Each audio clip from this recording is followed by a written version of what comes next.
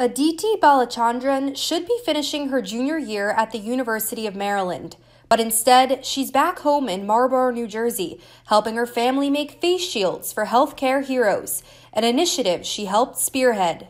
So, Shields for Heroes is a GoFundMe campaign which we started exactly a month ago on the 1st of April.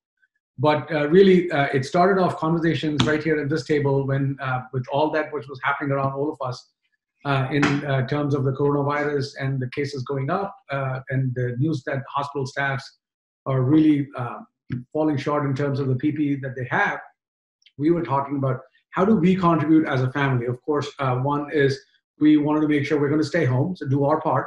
But apart from that, what do we do? Using their resources, the family of four launched Shields for Heroes. My professional business fraternity um, he reached out in the, in like our chat that we had. He said that his dad he had a manufacturing company and they switched they started making some ppe and like specifically the face shields so um, then i ended up reaching out to him and then uh, we, he was able to connect my, uh, my dad and my parents with his dad as well so it just took off from there with donations from their Marlboro community, they were able to make 3,300 face shields and raise over $15,000 for six hospitals and first responders across New Jersey. We consider ourselves very lucky that we have we know so many people that were able to not only contribute but also send it to people that they know and um, it's so fulfilling to see our whole community come together to like, work on this one effort.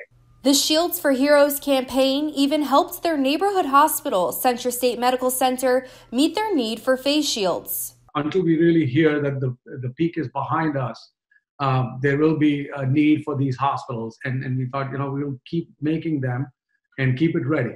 Whoever wants these shields, we are happy to donate there's just something different about getting those pictures back from the people from like the real frontline workers who are using our face shields um, it's just so fulfilling to see them to see them wearing our shields and then saying, I feel safe now, I feel protected. Yeah. That is just something. Shields for Heroes is still accepting donations through their GoFundMe campaign that can be found on our website at njnn.tv. I'm Heather Fordham reporting for New Jersey News Network.